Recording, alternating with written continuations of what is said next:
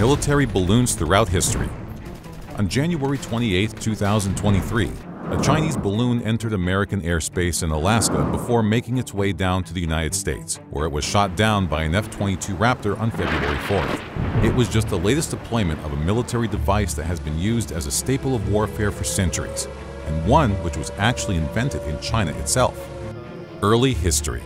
Coming full circle, the first ever martial use of a balloon can be traced to a Chinese general from the 3rd century called Sun Liang, or Kongming.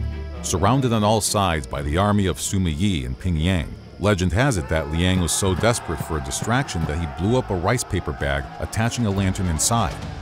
Liang's flying lantern was mistaken for a divine light as it appeared over enemy lines, causing them to flee. Although unlikely to have been invented by Kongming, similar balloons would be used for military signaling and communications in ancient China. Military ballooning, however, would fail to take off in other parts of the world for a millennium more, and was only reintroduced in the late 18th century by the French. At the Battle of Fleurus on June 26, 1794, an observation balloon manned by members of the French Aerostatic Corps floated for some nine hours, relaying information about the movements of Austrian soldiers. In 1808, the same year that Major Lamon rather over-ambitiously suggested to Napoleon he could invade England from the air with a flotilla of balloons, the Danes would be one of the earliest to use them for propaganda purposes, dropping thousands of pamphlets into neighboring Sweden encouraging its citizens to revolt against their king.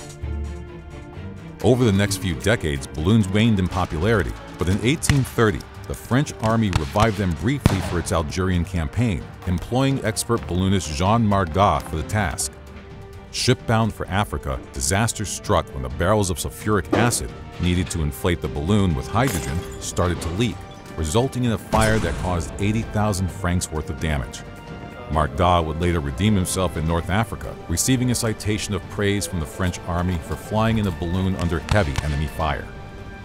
In 1849, military balloons operated by bomb-wielding pilots were used for the first time by the Austrians at the Siege of Venice, where, flying over the city, two aerial torpedo battalions released several explosives to only limited effect. Nevertheless, by 1861, the military balloon had made its way to the United States, where it became an important reconnaissance tool for both sides of the American Civil War. On September 24, 1861, balloonist Thaddeus Lowe was able to establish the positions of Confederate troops holed up at Falls Church in Virginia, allowing Union artillery, for the first time in the history of warfare, to fire precisely on their foe without ever seeing him. Consequently, for the rest of the war, Confederate soldiers were forced to black out their camps to avoid aerial detection. To snuff out the Unionists, the Confederates formed their own balloon corps in 1862 under the auspices of Captain John Randolph Bryan. Bryan was perhaps most famous for being mistaken for the enemy and fired upon by his own troops at Yorktown, Virginia, after his balloon was cut loose to free an entangled ground crew member. Interestingly, a second Confederate balloon made from multicolored silk, believed to have been created from silk dresses donated by the ladies of the Confederacy, would become one of the most humorous Civil War myths. The triumph of the military balloon in the Civil War would have far-reaching influence, piquing the interest of the Brazilian Emperor Dom Pedro II, who, in 1867, mired in conflict with Paraguay, was able to acquire the services of veteran American balloonists the Allen brothers. On the front lines of July 8th, and with a team of 30 men on the ground grappling with cables to keep the balloon in place, two members of the Brazilian military were able to successfully ascend to the height of 400 feet to the astonishment of Paraguayan forces and to sketch out an accurate picture of enemy lines. The Brazilians' achievement here would augur the most dramatic use of hot air balloons in the 19th century. In September 1870, at the Siege of Paris, with French forces encircled by the Prussians, a total of 102 officials, 500 carrier pigeons, and five dogs were evacuated to the provisional government in Tours. As a result, the French re-established their aeronautical corps in 1877, with other European powers such as Germany and Austria following suit respectively in 1884 and 1893, while four balloon regiments would serve in the British Army by the end of the century as part of their Boer War campaign in South Africa. World Wars During World War I, with the Germans occupying much of the high ground on the Western Front, the Allies turned to observation balloons to break the bloody stalemate of static trench warfare.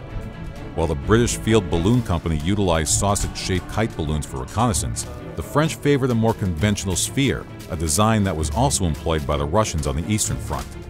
It was only towards the end of the war, following the introduction of special incendiary machine gun bullets in 1917, that Allied pilots were finally able to shoot down German balloons, including Belgian ace Willy Coppens, who notched up a record 37 kills.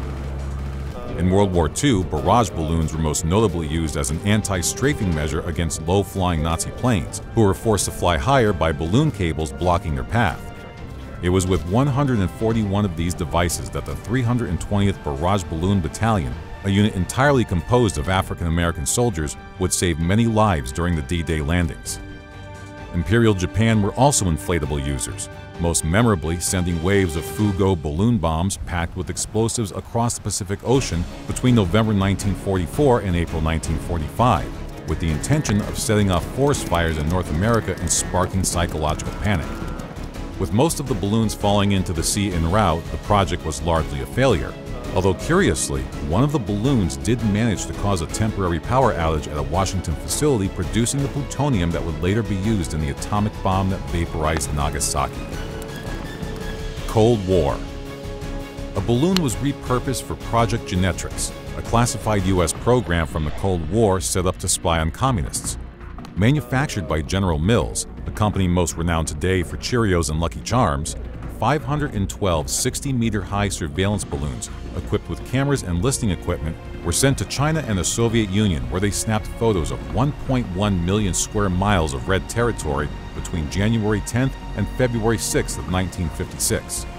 When they were discovered, the US rather ironically gave pretty much the same explanation as the Chinese, disclosing how it was in fact a weather balloon innocently gathering information about jet stream air currents. Peculiarly, some have even argued that the alleged UFO uncovered at the 1947 Roswell incident was merely a downed spy balloon assembled as part of Genetrix's predecessor, Operation Mogul. Furthermore, around the same time, balloons would also play an integral part in the Fulton surface-to-air recovery system designed to pick up servicemen trapped in enemy terrain. Like something out of a James Bond movie, the trooper first activated a self-inflating dirigible attached to a lift line and a harness. Then, traveling slow, an aircraft caught the floating balloon line mid-air with two tubular steel horns attached to its nose before hauling the evacuee through the air to safety. In order to test the mechanism, the system's inventor, Robert Fulton, had first tried it on a pig, which after spinning at 125 miles per hour, arrived safely undamaged and reportedly attacked the crew once it was less disoriented. Modern usage More recently, during the Iraq-Afghanistan War of 2003, the U.S. military deployed a helium-filled aircraft called an aerostat as part of their persistent threat detection system, which, surveying the area, was able to accurately monitor and record insurgent movements. Military balloons continue to have a place on modern battlefields such as Eastern Europe, where legions of Russian inflatables, fitted with corner reflectors to mimic the radar signature of attack drones, have been sent into Ukraine, with the purpose of exhausting Ukrainian supplies of radar-guided missiles. So, from ancient China to the Chinese Communist Party, the endless functions of the military balloon continue to be prized. Safe to say, they won't be deflated anytime soon.